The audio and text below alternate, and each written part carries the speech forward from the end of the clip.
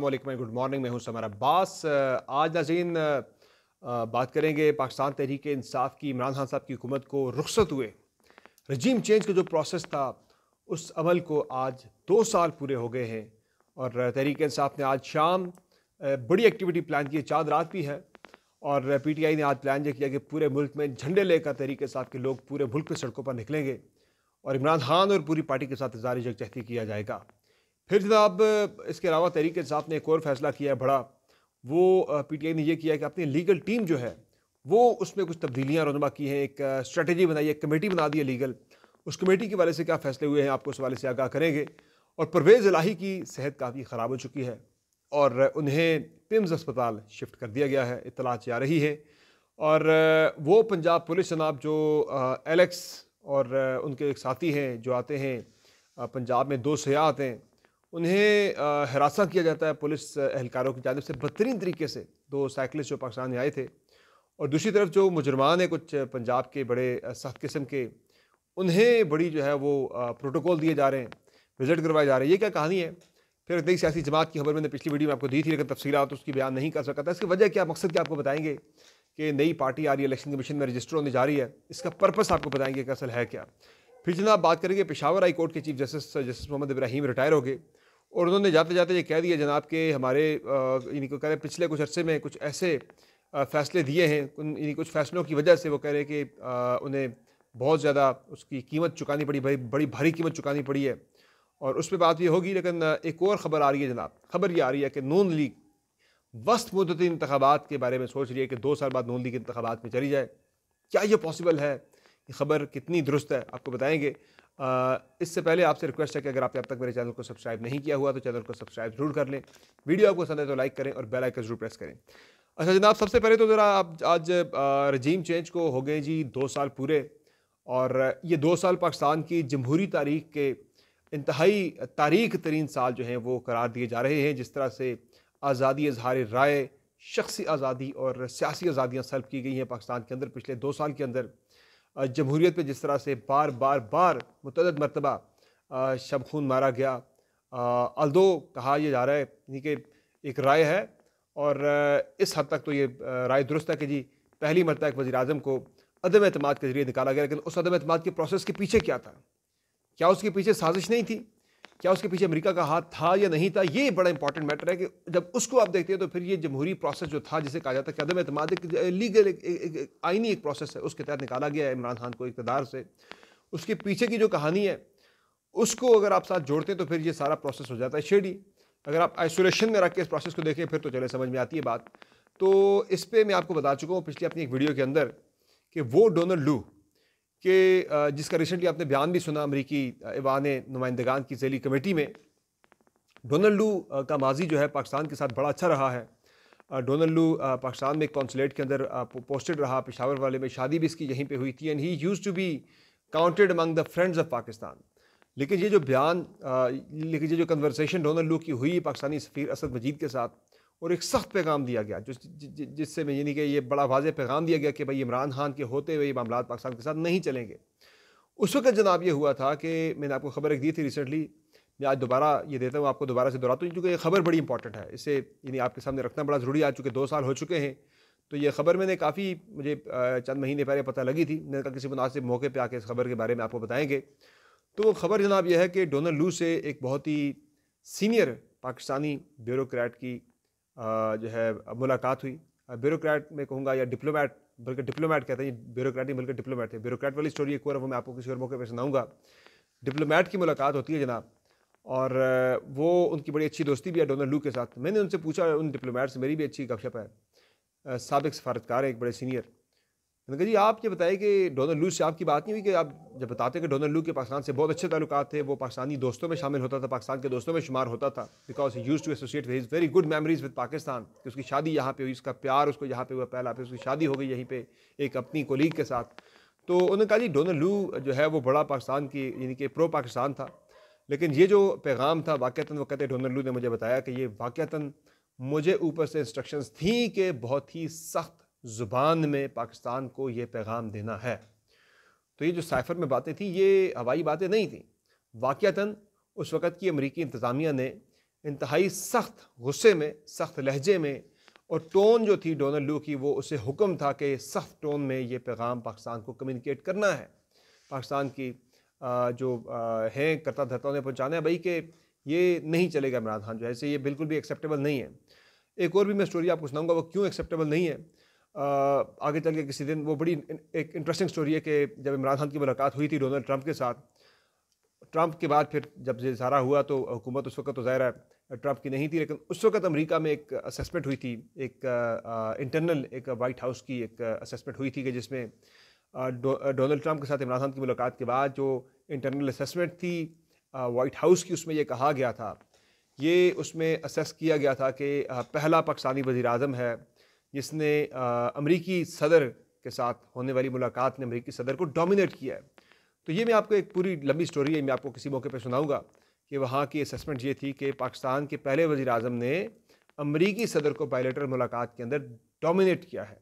तो ये एक बड़ी इंटरेस्टिंग स्टोरी तो ये नहीं कि वहाँ चीज़ें खटक तो रही थी, लेकिन ये जो रशिया का दौरा था, वो ज़रा ज़्यादा मसाइल की एक जो है वो बुनियाद बन गया अमेरिका के लिए, एक जवाब बन गया, भाई, हटाया जाए इस बंदे को। बहरहाल इस कहानी से निकलते हैं। भाई ज़रा लेकिन जो पाकिस्तान के अंदर हुआ पिछले दो सालों में, पहले निगरान, निगरानों के बाद फिर आप देखें कि इलेक्शन होता है। और ये बड़ी एक हैरान कन बात है मेरे लिए। हैरान कन क्या? बड़ी परेशान कन है कि ये कैसी डेमोक्रेसी है कि एक बंदा आपके निगरान सेटअप में वज़ी दाखिला था, वो बन गया जी एक सूबे का वज़ी अला और एक बंदा आपके मुल्क में सूबाई जो है वो वज़ी अला था, निगरान वज़ी अला था, वो बन जाता है वज़ी दाखिला। ये स्वैप हो गई चीज़ें जनाब। कि निगरान वज़ी दाखिला वज़ी अला बन गया एक सूबे का, और निगरान वज़ी अला था एक सूबे का, वो बन गया जी, अब वज़ी दाखिला बन गया है।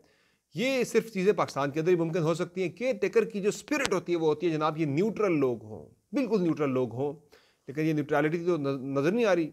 जिस मैं बता रहा हूँ कि निगरान वजी दाखिला वजी अला बन गया, निगरान वजी अला वजी दाखिला बन गया, ये क्या कहानी है भाई? ये ये, इससे नज़र आ रहा है कि चीज़ें शफाफ नहीं थी।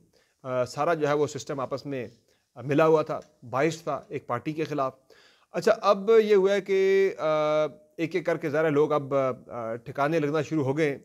तो जिस तरह से आपने देखा है कि पेशावर हाई कोर्ट के चीफ जस्टिस हैं जस्टिस मोहम्मद इब्राहिम, अब वो रिटायर हुए, वो लिखते हैं कि कुछ अरसे में कानून के मुताबिक फ़ैसले कुछ अरसे में, पिछले कुछ अरसे में जो कानून के मुताबिक मैंने काफ़ी फ़ैसले किए, मगर एक सियासी जमात से उन्हें मनसूब कर दिया गया। और हमारे कानून के मुताबिक फ़ैसलों पर सियासी बयानबाजी भी की गई सियासी जमातों की तरफ़ से तनकीद भी की गई। कहते जी, इन फैसलों की मुझे बड़ी भारी कीमत चुकानी पड़ी है। वो कीमत क्या थी जनाब? वो कह रहे मैंने बनना था। सुप्रीम कोर्ट ऑफ़ पाकिस्तान का जज बनना था, मुझे नहीं एलिवेट किया गया। हालाँकि मैं सीनियर मोस्ट था, यानी top two senior most high court के जजेस में शामिल था, लेकिन नहीं एलिवेट किया गया। तो ये कीमत वो कह रहे मैंने चुकाई है इसकी।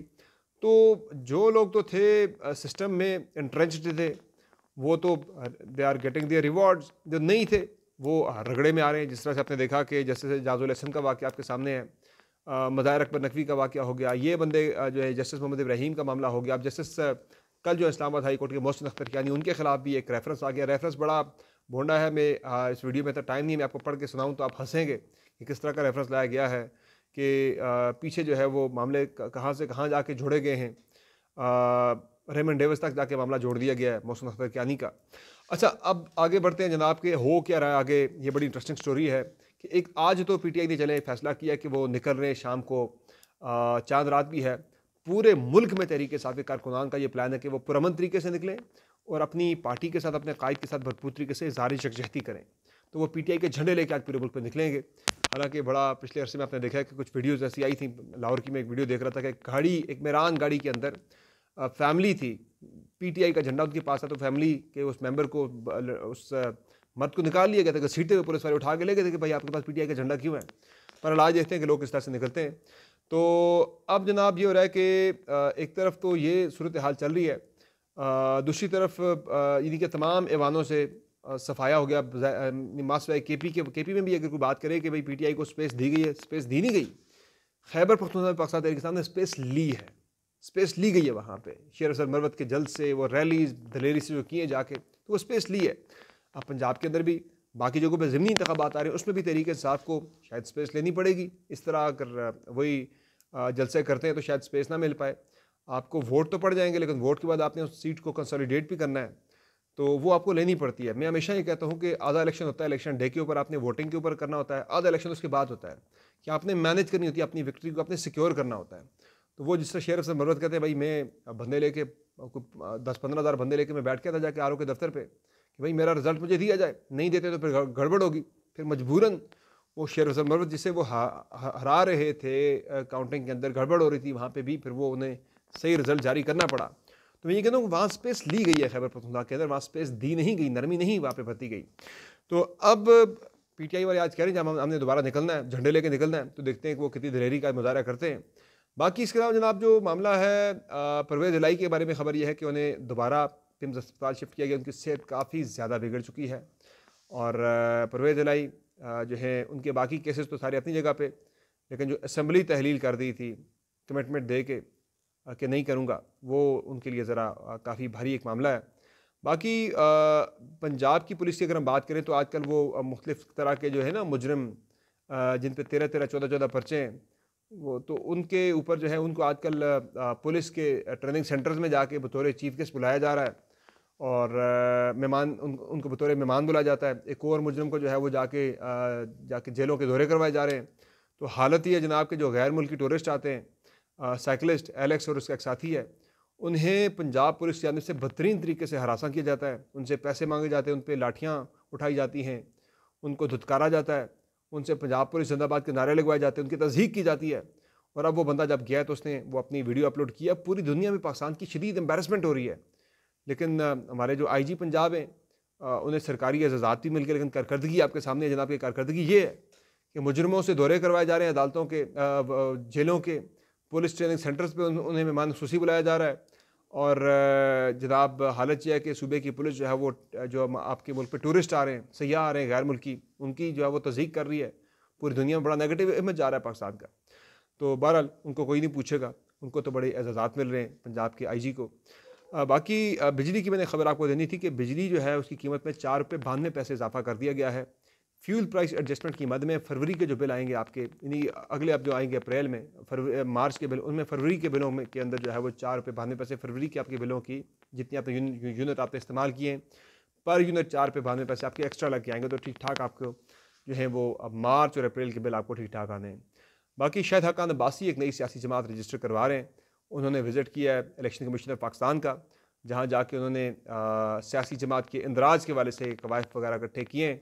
डिटेल्स वगैरह इकट्ठी की हैं वगैरह को जमा भी करवाएँ। तो ये नई सियासी जमात क्यों आ रही है इस मौके के ऊपर? मुल्क में इंतबात नहीं हो रहे, कुछ भी नहीं हो रहा। इंतबात के वाले से एक बड़ी इंटरेस्टिंग खबर है कि नून लीग क्या मिड टर्म इंतबात की तरफ़ जा रही है। तो शायद हकान अब्बासी अपनी जमात रजिस्टर करवा रहे हैं। इस मौके पर जो है एक नई जमात की जो एक सोच है, कोशिश है, सियासी जमातों की जगह है ही नहीं है पाकिस्तान के अंदर। इस वक्त वोट जो है वो या तहरीक इंसाफ की यानी कि या प्रो तरीके साफ़ वोट है या एंटी तरीके से वोट है पाकिस्तान के अंदर बाकी वोट इस वक्त कोई है ही नहीं है। इस वक्त मसला सियासी जमातों का नहीं है। मसला पाकिस्तान में जमहूरी निज़ाम का है आ, मसला जमहूरी सिस्टम का है सियासी जमातों के कम या ज़्यादा होने से फ़र्क नहीं पड़ता। तो क्या ये नई जमात जो है वो तहरीक इंसाफ को आ, की जगह पे या उसकी स्पेस को ऑक्यूपाई करने के लिए लाई जा रही है? आ, इससे पहले आई पी पी और पाकिस्तान तहरीक इंसाफ पार्लियामेंटेरियन के तजुर्बा हो चुके हैं। बड़े ही बुरे तजुर्बा थे। तो मैं नहीं समझता कि शायद हकान बादशाह साहब को ऐसी कोई गलती करनी चाहिए। इसके अंदर कोई फ़ायदा नहीं होगा। चाहे वो नून लीग तोड़ने के लिए होती है, तरीके साफ़ तोड़ने के लिए होती है, किसी भी जमात को तोड़ने के लिए होती है। यानी अगर वो नून लीग को ही तोड़ के अगर ये शायद हक्का नबासी जो है वो पार्टी को बना रहे हैं कि उसमें नून लीग के बंदे तोड़ के लाए जाएँगे कल को, कि कुछ लोग तो ज़ाहिर उनके साथ आ रहे नून लीग से ही मिफ्ता इसमाइल हो गए, मोहम्मद ज़ुबैर हो गए, और शायद आसिफ करमानी भी आ जाए। शायद ये जो हैं अब्बासी साहब हैं, मरी वाले मेहताब अब्बासी साहब एबटाबाद वाले शायद वो भी आ जाए। लेकिन जिस पार्टी का फ्यूचर कोई भी नहीं होगा। जो सियासी जमात, किसी सियासी जमात की ज़िद में बने ना, वो उसका फ्यूचर नहीं हुआ करता। तो अगर ये नून लीग की ज़िद में पार्टी आ रही है तो मुझे ये कामयाब होती हुई नज़र नहीं आ रही बाकी इसके अलावा जनाब पंजाब के वज़ीर तालीम है, जनाब, बड़े बादशाह बंदे हैं। उन्होंने नया शोशा छोड़ दिया है कि जी, जो एच एस कॉलेज के प्रिंसिपल हैं, उनकी बीवी करप्शन में मुलवस थी। उनकी बीवी करप्शन में मुलवस थी और कैसे बंदा जो है, वो चार कनाल के आलिशान घर में रह रहा था, एक प्रिंसिपल होते हुए। तो ये बड़ी जो है वो मैं समझता हूँ कि बड़ी मजायका खेज़ है ये चीज़।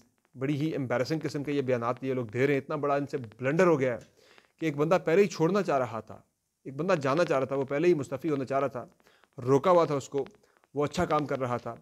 आपने अपने सियासी ब्लंडर करके, आपने अपने सियासी फ़ायदे उठाने के चक्कर में उस बंदे को आपने पहले ख्वार किया, जलील किया और अब आप जो हैं वो उसके बारे में इस तरह के बयान दे रहे हैं ताकि कोई अच्छा बंदा कल को कोई जो है अच्छी शहरत का बंदा पाकिस्तान के अंदर आके एचिस्तान के अंदर कम अज़ कम प्रिंसिपल का अहदा संभालने के लिए तैयार ना हो, या you you are trying to make it sure तो ये बड़ी एम्बेरसिंग सूरत हाल है। एक वज़ीर तालीम इस तरह की बातें करें तो फिर किसी और बंदे से आप क्या तो करेंगे?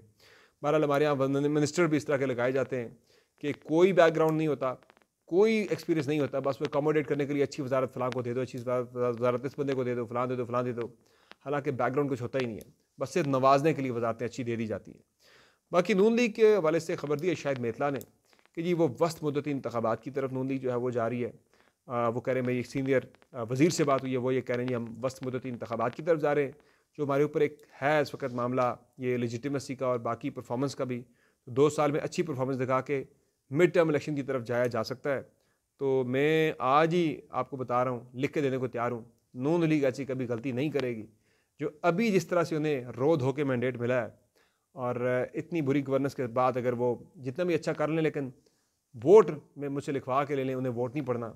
अगर वो ये समझते हैं कि वस्त मुद्दती के बाद शायद उन्हें कोई दो ताई अक्सरियत मिल जाएगी, अपनी सादा अक्सरियत मिल जाएगी, ये सवाल ही पैदा नहीं होता। वो डरे हुए ज़रूर है कि पीपल्स पार्टी उनके साथ हाथ करे भी, करेगी किसी भी टाइम पर वो चाहते हैं कि उन्हें अक्सरियत मिल जाए। कुछ पीटीआई की सीटें तोड़ तोड़ के नून लीग को मिल रही हैं, लेकिन ये वस्त मुद्दती वाली जो है, मुझे ये एक बहुत बड़ा एक मज़ाक लग रहा है, एक लतीफ़ा लग रहा है। नून लीग कम अज़ कम ऐसा कोई भी रिस्क नहीं ले सकती। तो ये जनाब आज की ख़बरें हैं।